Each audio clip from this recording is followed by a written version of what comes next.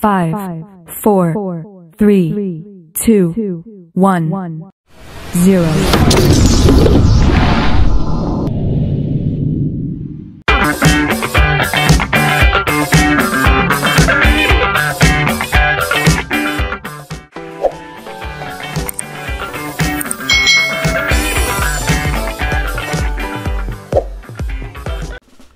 Hai hai hai Selamat datang di channel youtube Kak Citra. Apa kabar adik-adik semuanya? Kak Citra berharap kalian dalam keadaan yang baik, sehat, dan siap untuk belajar ya.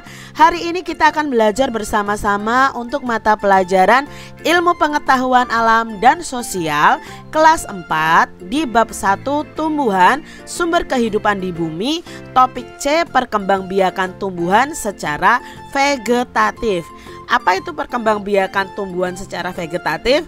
Yuk kita pelajari bersama-sama Adik-adik yang hebat, pada tumbuhan yang memiliki bunga itu terjadi namanya perkawinan generatif atau disebut juga dengan proses penyerbukan antara benang sari dan putik. Nah, penyerbukan ini adalah bertemunya benang sari. Benang sari ini adalah alat kelamin jantan pada tumbuhan atau pada bunga dengan putik yaitu alat kelamin betina pada bunga. Sehingga pada penyerbukan ini nanti akan menghasilkan biji dan biji itulah nanti yang ditanam dan menghasilkan tumbuhan yang baru. Lalu ada perkembangbiakan secara vegetatif pada tumbuhan. Ini khususnya adalah tumbuhan yang tidak memiliki bunga adik-adik. Keturunannya dihasilkan dari satu induk ya. Nah, perkembangan vegetatif ini juga bisa berlangsung pada tumbuhan yang tidak uh, yang memiliki bunga juga bisa adik-adik ya. Nah, biasanya terjadi karena ada modifikasi antara akar, batang, dan daun. Nah, nanti keturunannya itu memiliki sifat yang sama dengan induknya. Pada perkembangbiakan vegetatif atau tidak kawin itu ada dua. Nah, ada vegetatif alami, ada juga vegetatif buatan. Vegetatif buatan itu berarti untuk perkawinan atau um, membuat tumbuhan barunya itu dengan bantuan manusia adik-adik. Yang pertama ada vegetatif alami. Apa saja tumbuhan yang mengalami vegetatif alami? Yang pertama tumbuhan yang mengalami vegetatif alami itu melalui tunas. Nah, coba adik-adik perhatikan. Ini adalah pohon pisang. Biasanya di sekitar induk pohon pisang itu tumbuh tunas-tunas kecil. Nah, pada tumbuhan seperti pisang dan bambu, batang yang ada di dalam tanah itu dapat berkembang membentuk tunas. Nah, tunas nanti akan tumbuh menjadi tumbuhan yang baru dan tumbuhan yang besar adik-adik karena lama-kelamaan akan tumbuh. Lalu adik-adik, tunas akan tumbuh dekat dengan induknya dan tumbuh menjadi tanaman baru. Jadi ini perkembangbiakan secara vegetatif alami karena um, pisang ini tumbuhnya dengan tunas. Nah, adik-adik, ada juga tunas yang tumbuh di tempat selain itu, sehingga disebut dengan tunas liar atau tunas adventif. Contohnya adalah tanaman cocor bebek ini adik-adik dan pohon sukun. Nah, ini mengalami tunas adventif atau tunas liar. Berikutnya vegetatif alami adalah dengan spora. Nah, coba adik-adik apakah kalian pernah melihat eh, bintik-bintik uh, seperti ini pada tumbuhan?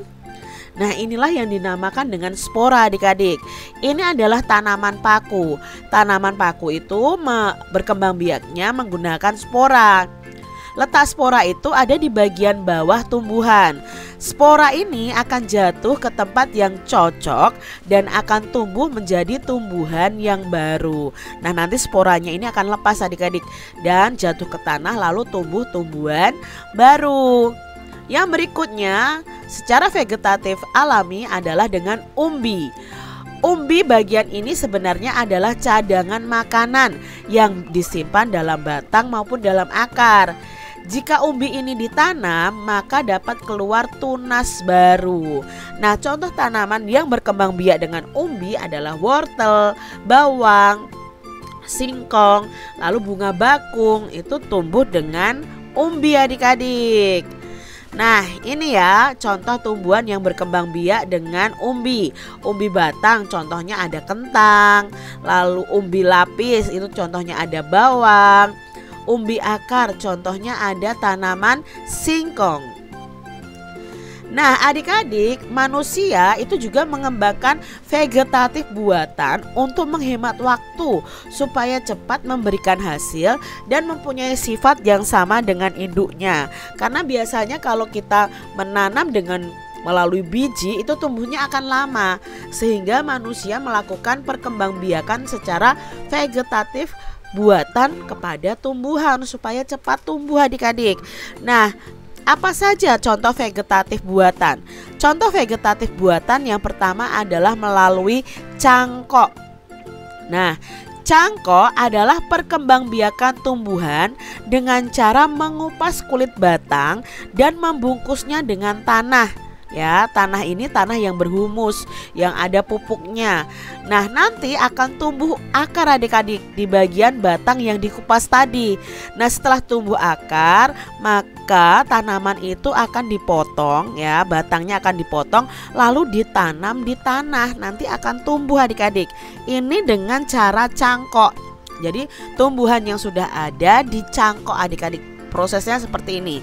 Ini tumbuhannya, lalu kupas batangnya ya, kupas batangnya, lalu setelah itu kulit batang sudah dikupas lalu dibungkus nih dengan tanah yang memiliki humus atau tanah yang berpupuk. Nah, kalau sudah keluar akarnya, batang ini nanti dipotong lalu ditanam. Nah, adik-adik, syarat tumbuhan yang bisa dicangkok itu adalah tumbuhan yang memiliki batang berkayu, misalnya pohon apel, mangga, jeruk, rambutan, dan pohon nangka. Nah, ini bentuknya seperti ini adik-adik yang namanya cangkok. Kelebihan cangkok ini adalah akan berbuah lebih cepat dibandingkan jika ditanam dari biji. Tetapi ada kerugiannya adik-adik. Kerugiannya akar tumbuhannya tidak kuat. Kalau ditanam dari biji akar tumbuhannya kuat, tapi kalau melalui cangkok itu tidak kuat. Nah, contoh vegetatif buatan yang kedua adalah stek adik-adik ya. Nah, stek ini adalah perkembangbiakan tumbuhan dengan cara memotong bagian bagian tumbuhan. Nah, potongan tersebut kemudian ditanam langsung dan dapat tumbuh menjadi tumbuhan baru. Contohnya pada singkong. Singkong itu batangnya dipotong lalu ditanam itu akan tumbuh tanaman baru seperti ini adik-adik ya. Nah, adik-adik Syarat utama tumbuhan yang bisa di stek ini adalah batang dan daunnya memiliki mata tunas. Nah, ini adik-adik, ini adalah mata tunas ini ya di bagian tumbuhannya. Contoh tumbuhan yang bisa di stek ini adalah pohon singkong dan mawar adik-adik. Jadi mawar itu batangnya kamu potong, kamu tanam saja akan tumbuh. Berikutnya adalah vegetatif buatan dengan cara sambung. Nah, namanya saja sambung berarti menyambungkan antara dua tumbuhan. Sambung disebut juga dengan mengenten. Nah, perkembangbiakan dengan cara menyambung batang ini ada tu dua tumbuhan yang jenisnya harus sama, tetapi memiliki kualitas yang berbeda. Nah, tujuannya itu untuk memperoleh kualitas tanaman yang lebih baik. Jadi adik-adik kalau menyambung ini tanamannya itu dua tanaman yang jenisnya sama tapi kualitasnya berbeda. Lalu berikutnya ada merunduk. Nah, apa itu merunduk? Teknik berkembang biak dengan cara merundukkan batang tanaman ke tanah agar tumbuh akar. Nah, seperti ini namanya merunduk. Nah, setelah akar timbul, batang bisa dipotong. Contohnya pada tumbuhan alamanda ini adik-adik. Jadi ketika ingin mengembangbiakan tumbuhan alamanda ini, caranya batangnya ini dirundukkan ke dalam tanah. Nah, nanti kalau sudah keluar akarnya Ini bisa dipotong batangnya dan bisa ditanam. Ini contohnya adalah tanaman alamanda. Nah, demikian tadi adik-adik pembahasan kita mengenai perkembangbiakan tumbuhan secara vegetatif, baik vegetatif alami maupun vegetatif buatan. Jadi cara ini kalau vegetatif buatan itu mempercepat proses adik-adik supaya mempercepat hasilnya supaya cepat panen begitu adik-adik terima kasih sudah menyaksikan video dari Kak Citra dan sampai jumpa lagi di video pembelajaran Kak Citra selanjutnya Tuhan memberkati. Jangan lupa tekan tombol subscribe, lalu tekan loncengnya, tekan juga tombol like, lalu share ke media sosial kalian.